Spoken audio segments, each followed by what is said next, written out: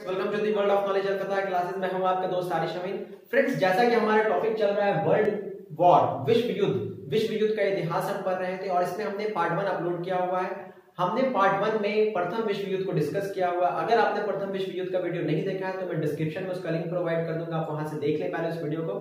उसके बाद ये वीडियो देखें तो आपको बेहतर ढंग से समझ में आएगा। तो आइए फ्रेंड्स शुरू करते हैं आज का वीडियो पहले थोड़ा रिकॉल कर लेते हैं कि पार्ट वन में हमने क्या पढ़ा।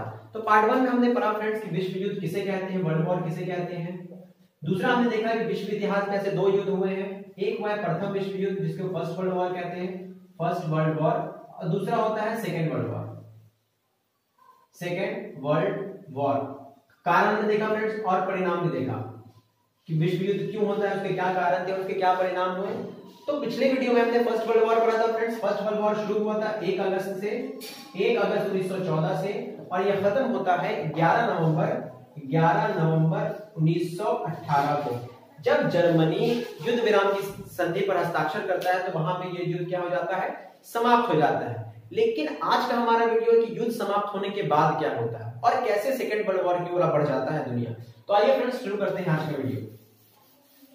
देखिए क्या होता है? जैसे फ़र्स्ट वर्ल्ड वॉर समाप्त होता है, जर्मनी युद्ध विराम की संधि पर हस्ताक्षर करता है, उसके बाद दो बहुत इंपॉर्टेंट चीज़ें घटित होती हैं। क्या होता है फ्रेंड्स युद्ध के उपरांत? यहाँ पे मैंने कुछ पॉइंट लिखा है कि युद्ध के उपरांत मतलब युद्ध के जस्ट बाद क्या होता है? तो राष्ट्र संघ की स्थापना होती है। तो क्या है ये राष्ट्र संघ राष्ट्र संघ एक कॉन्सेप्ट था कि एक ऐसा इंटरनेशनल सिस्टम एक ऐसी इंटरनेशनल बॉडी बनाई जाए, अंतरराष्ट्रीय संगठन बनाया जाए कि अगर किसी देश देश में विवाद हो तो उसे बातचीत के तौर पर सुलझा लिया जाए, ना कि युद्ध किया जाए। तो इसलिए ये कॉन्सेप्ट आया कि अगला विश्व युद्ध ना हो, इसलिए क्या किया लोगों ने?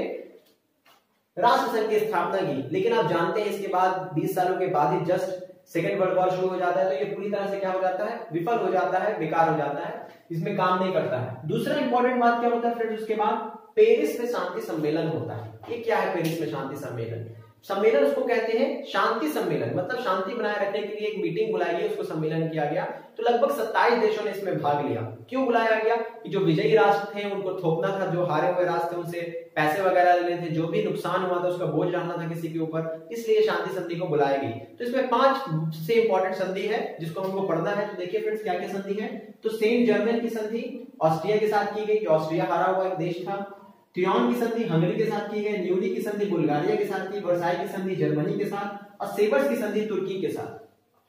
तो ये पाँच राष्ट्रों के साथ ये संधियाँ की गई, जो विजयी राष्ट्र में कौन थे, फ्रांस था, ब्रिटेन था, और अमेरिका था। और भी बाकी सत्ताईस देश मिलजुल कर किए थे, लेकिन जो निर्णायक भूमिका निभा रहा था मेन किरदार निभा रहा था, वो यही तीन देश निभा रहा था, इसी का सब बोया हुआ था। तो तीन देश करते हैं, ये संधियाँ होती हैं देशों के बीच, कुछ बात होती है, पैसे वैसे का लेन देन हुआ होगा, जो भी हुआ होगा तो वो हुआ यहाँ पे। लेकिन सबसे इंपॉर्टेंट इसमें क्या है फ्रेंड्स वर्साई की संधि, जो जर्मनी के साथ होती है। ये क्यों इंपॉर्टेंट है? क्योंकि इतिहासकारों का मानना है कि वर्साई की संधि में ही द्वितीय विश्व युद्ध का बीज बो दिया गया था। मतलब अगर वर्साई की संधि नहीं होती तो द्वितीय विश्व युद्ध भी नहीं होता। इस तरह से लोगों का मानना है तो हम वर्साई की संधि पे फोकस करेंगे उसके बारे में थोड़ा समझते हैं कि क्या है वर्साई की संधि। तो वर्साई की संधि लगभग उन्नीस में हुई थी, जनवरी और जून के बीच में यह जर्मनी के साथ हुआ था, हमने देख लिया फ्रेंड्स तो इसमें कुछ इंपॉर्टेंट सत्ताईस देशों ने इस वर्साई की संधि में भाग लिया। ब्रिटेन, फ्रांस, अमेरिका निर्णायक भूमिका निभा रहे थे। जैसा कि मैंने कहा क्योंकि ये विजयी राष्ट्र थे, ये प्रथम विश्व युद्ध में जीते हुए राष्ट्र थे, इसलिए ये क्या थे? हीरो के रोल में थे। दूसरा है, जर्मनी का युद्ध को जिम्मेदार ठहराया। मतलब फ्रेंड्स जो प्रथम विश्व युद्ध हुआ, उसका पूरा जिम्मेदार, पूरी ज़िम्मेदारी किसको दे दी?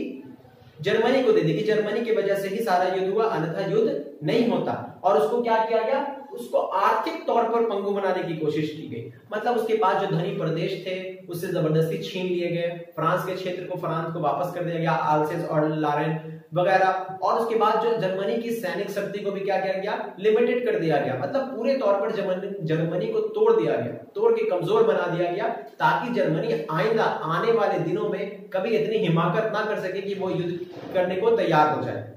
इसलिए जर्मनी को पूरी तरह से तोड़ दिया गया। और जर्मनी को मजबूर होकर, क्योंकि जर्मनी प्रथम विश्व युद्ध में हारा हुआ राष्ट्र था, मजबूर होकर के वर्षाई की संधि पर हस्ताक्षर करने पड़े। तो जर्मनी ने क्या कर दिया? उन्नीस सौ उन्नीस में वर्षाई की संधि पर हस्ताक्षर कर दिए। लेकिन जर्मनी ने वर्षाई की संधि पर हस्ताक्षर तो कर दिया, लेकिन जर्मनी के लोग इस वर्षाई की संधि को एक कलंक की तरह मानते थे और उनको ये जो मित्र राष्ट्र थे, ब्रिटेन, फ्रांस और अमेरिका के प्रति बहुत ज़्यादा आक्रोश व्याप्त हुआ, पैदा हुआ और जर्मनी के लोग बहुत ज़्यादा नफरत करने लगे इन राष्ट्रों से। उसके बाद इसी का फ़ायदा उठाता है हिटलर और यहाँ से हिटलर का जन्म होता है, हिटलर का उदय होता है। जर्मनी के लोगों के आक्रोश का फ़ायदा उठाकर हिटलर क्या करता है? सत्ता को हथियार लेता है। मतलब सत्ते में आ जाता है हिटलर। हिटलर सत्ता को हथियाने के बाद वो क्या करता है? एक तानाशाह बनकर उभरता है। तानाशाह था हिटलर और तानाशाह बनकर उभरने के बाद वो तानाशाही की नीति अपनाता है और आक्रमण नीति अपनाकर द्वितीय विश्व युद्ध की शुरुआत करता है। तो आइए फ्रेंड्स अब आगे बढ़ते हैं द्वितीय विश्व युद्ध की तरफ़ कि किस कार, किस कारण से द्वितीय विश्व युद्ध हुआ और क्या क्या घटनाएँ घटित हुई द्वितीय विश्व युद्ध में और क्या क्या उसके परिणाम हुए। तो आइए फ्रेंड्स चलते हैं उधर।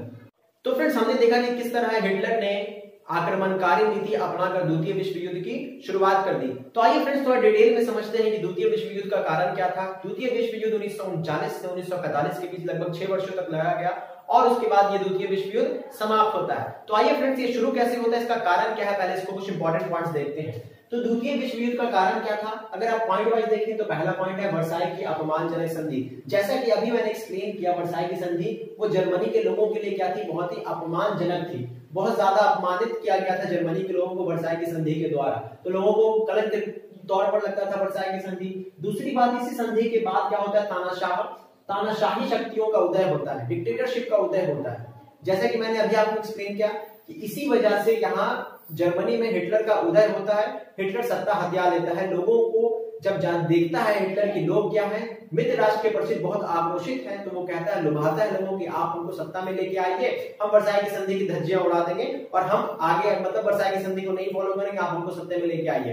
तो लोग ऐसे भी वर्षाई की संधि से बहुत ज़्यादा आक्रोशित थे तो वो क्या करते हैं, हिटलर को सत्ता हाथ में दे देते हैं और हिटलर सत्ते में आ जाता है और हिटलर नाजीवाद की शुरुआत करता है। ऐसे ही इटली में मुसोलोनी फांसीवाद की शुरुआत करता है। आपने प्रथम विश्व युद्ध में देखा था फ्रेंड्स की इटली जो है अमेरिका के साइड से लड़ता है मतलब अमेरिका, ब्रिटेन और फ्रांस की तरफ़ से लड़ता है। पहले तो इटली जर्मनी के साइड रहता है, लेकिन बाद में वो पलट जाता है और अमेरिका के साइड या फिर फ्रांस, ब्रिटेन के साइड हो जाता है। लेकिन बाद में क्या होता है फ्रेंड जैसे प्रेस के शांति सम्मेलन होता है तो उसमें इटली को बहुत ज़्यादा महत्व नहीं दिया जाता है। तो इटली को ये बात बहुत बुरा लगता है, बहुत अपमानजनक लगता है। और दोबारा से इटली में इटली में क्या होता है फांसीवाद की शुरुआत होती है, तानाशाही की, और फिर द्वितीय विश्व युद्ध में इटली जर्मनी की तरफ़ से लड़ता है। तो आइए क्या पहले देखते हैं कौन कौन देश किस तरफ़ से लड़ता है। पहले अगला पॉइंट देखते हैं। तो तीसरा पॉइंट अगर आप देखें तो साम्राज्यवादी प्रवृत्ति ये कोई दूसरा अलग पॉइंट नहीं है। फ़र्स्ट वर्ल्ड वॉर में जैसे जो कारण था फ़र्स्ट वर्ल्ड वॉर का, अगर आप देखें तो द्वितीय विश्व युद्ध में भी सब वही कारण था। यहाँ भी साम्राज्यवादी परिवर्तित थी। मतलब लोग साम्राज्य का विस्तार चाहते थे। ज़्यादा से ज़्यादा क्षेत्र पर उनका अधिकार हो ज़्यादा से ज़्यादा क्षेत्र पर वो अधिकार कर, उनका आर्थिक शोषण करके अपनी आर्थिक स्थिति को क्या कर सके? मज़बूत कर सके। तो इस तरह से लोग क्या चाहते थे? अपने साम्राज्य का विस्तार चाहते थे, प्रवृत्ति चाहते थे साम्राज्य। तो ये भी एक बहुत बड़ा कारण था द्वितीय विश्व युद्ध का। और अगर आप पॉइंट देखें तो यूरोपीय गुटबंदी गुटबंदी ग्रुपिंग, अब मैंने प्रथम विश्व युद्ध के कारण में भी इसको है, कि बहुत ज़्यादा गुट बन गया था, ग्रुपिंग हो गया था, जिस वजह से क्या हुआ था? प्रथम विश्व युद्ध हुआ था। सेकेंड वर्ल्ड वॉर में भी ऐसे ही कुछ हुआ था। जर्मनी जैसे उभरता है फ्रेंड्स तो जर्मनी दूरी राष्ट्र जर्मनी इटली और जापान के साथ क्या करता है? कंबाइन हो जाता है, मिल जाता है और एक ग्रुप बना देता है कि अगर मेरे ऊपर हमला होगा तो आप हमको सपोर्ट करेंगे। ऐसे ही मित्र, फ्रांस, ब्रिटेन, अमेरिका और सोवियत संघ। सोवियत संघ यहाँ पे रशिया है फ्रेंड्स रशिया जो अभी वर्तमान में रशिया है, ये मिलकर भी एक ग्रुपिंग बनाता है तो ये दोनों देश आपस में भिड़ते हैं, आगे आपस में लड़ते हैं द्वितीय विश्व युद्ध में। अगर आप तत्कालिक कारण की बात करें फ्रेंड तो तत्कालिक कारण कुछ ऐसा हुआ था कि अप्रैल उन्नीस में हिटलर ने पोलैंड पर क्या किया था?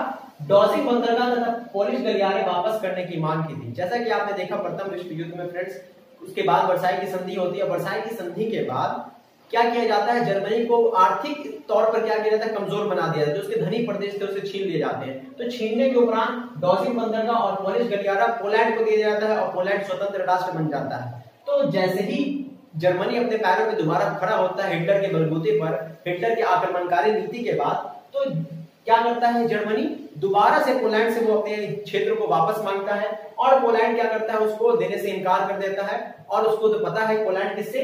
फ्रांस और ब्रिटेन से संधि कर लेता है कि अगर मेरे ऊपर आक्रमण, मेरे ऊपर हमला होता है तो आप मेरा क्या करेंगे? सपोर्ट करेंगे। इस तरह से उसकी उन लोगों से वचन ले लेता है। तो हिटलर क्या करता है इनकार करने के फलस्वरूप एक सितंबर एक सितंबर उन्नीस को पोलैंड पर क्या कर देता है? आक्रमण कर देता है, हमला कर देता है जर्मनी पे। जर्मनी कर देता है पोलैंड के ऊपर। क्यों करता है? क्योंकि हिटलर तो तानाशाह था ही, वो आक्रमणकारी था ही, उसने पोलैंड के ऊपर क्या कर दिया? हमला कर दिया। अब जैसे उसने हमला किया तो पोलैंड का पोलैंड का मित्र राष्ट्र कौन था फ्रेंड्स तो फ्रांस और जर्मन, फ्रांस और ब्रिटेन था। फ्रांस और ब्रिटेन या इंग्लैंड कह सकते हैं आप। ब्रिटेन था। तो ब्रिटेन ने उसके उपरांत तीस सितंबर इंग्लैंड और फ्रांस ने जर्मनी के विरुद्ध युद्ध की घोषणा कर दी थी। और फिर एक बार विश्व युद्ध के कगार पे आके खड़ा हो जाता है और द्वितीय विश्व युद्ध की यहाँ से शुरुआत हो जाती है। तो ये तत्कालिक कारण हमने देखा फ्रेंड्स कुछ द्वितीय विश्व युद्ध के कारण देखे। इसके आगे बढ़ते हैं कि युद्ध में क्या क्या इंपॉर्टेंट पॉइंट्स बन सकती है जो कॉम्पिटेटिव एग्ज़ाम से रिलेटेड है और युद्ध का अंत कैसे हुआ और युद्ध के अंत के बाद उपरांत क्या होता है। तो आइए फ्रेंड्स घर चलते हैं। तो फ्रेंड्स अब द्वितीय विश्व युद्ध को हम मैप के माध्यम से समझने की कोशिश करते हैं कि किस राष्ट्र ने कब, कितनी तारीख को किस राष्ट्र पर हमला किया और पूरे मैप के माध्यम से इसको समझने की कोशिश करते हैं। तो आइए फ्रेंड्स देखते हैं। तो सबसे पहले द्वितीय विश्व युद्ध तो जर्मनी ने 1 सितंबर उन्नीस को पोलैंड पे हमला कर दिया, जैसा कि अभी हमने देखा।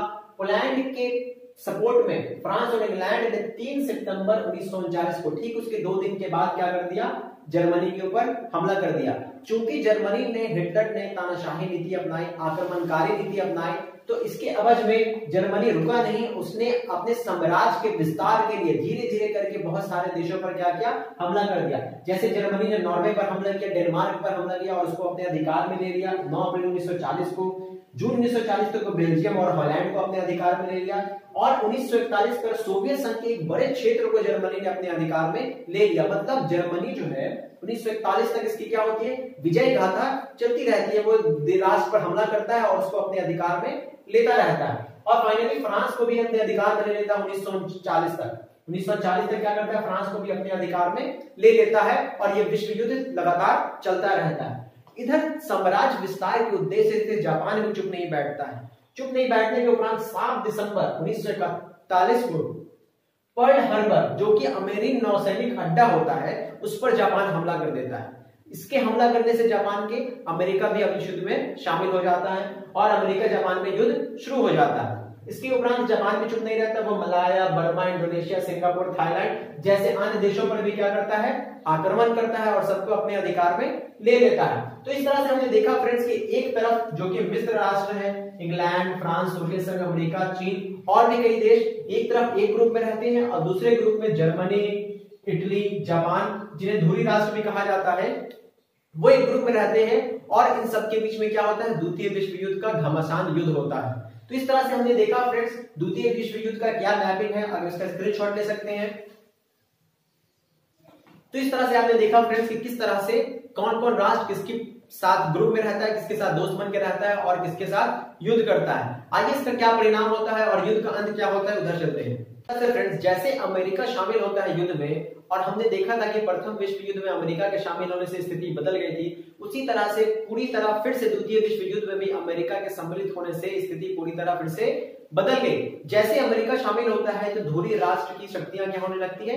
कमज़ोर पड़ने लगती है। और अंततः फाइनली 1944 में इटली क्या कर देता है? आत्मसमर्पण कर देता है। 1944 में इटली क्या कर देता है? आत्मसमर्पण कर देता है और 7 मई 1945 को 7 मई 1945 को सोवियत सेना मतलब रूस की सेना के आगे हिटलर को क्या करना पड़ता है? हिटलर को भी आत्मसमर्पण करना पड़ता है क्योंकि उसका जो मित्र था इटली इटली जब आत्मसमर्पण करता है तो उसको बहुत ज़्यादा आघात पहुँचता है। और फाइनली हिटलर 7 मई 1945 को क्या कर देता है?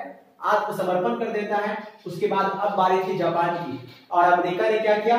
6 अगस्त और 9 अगस्त को अमेरिका ने जापान के दो शहर, हिरोशिमा और नागासाकी पर परमाणु बम गिराया और उसे पूरी तरह से नष्ट कर दिया। दोनों शहर को लाखों लोग मारे गए इस युद्ध में, इस युद्ध अभियान में। बाध्य होकर जापान ने क्या कर दिया? आत्मसमर्पण कर दिया सरेंडर कर दिया अमेरिका के आगे। और इस तरह से विनाशकारी युद्ध क्या होता है? फाइनली युद्ध समाप्त हो जाता है। युद्ध समाप्त हो जाता है। अब इसके आगे देखते हैं फ्रेंड्स युद्ध के क्या परिणाम हुए और इसके क्या कंक्लूजन निकलता है। तो आइए फ्रेंड देखते हैं अपने द्वितीय विश्व युद्ध के क्या परिणाम लिखे तो द्वितीय विश्व युद्ध के परिणाम कुछ इस प्रकार हैं कि जनधन की भीषण संहार हुआ। मतलब लाखों लोगों की हत्या हुई, लाखों लोग मारे गए, लाखों करोड़ों रुपए बर्बाद हुए इसमें। दूसरा पॉइंट देखें तो औपनिवेशिक युग का क्या होता है? अंत हो जाता है। जो औपनिवेशिक शासन था, साम्राज्य विस्तार के उद्देश्य से जो लोग दूसरे क्षेत्र पर अधिकार कर उसको अपना उपनिवेश बना लेते थे तो ये वाली क्या हो गया इसका?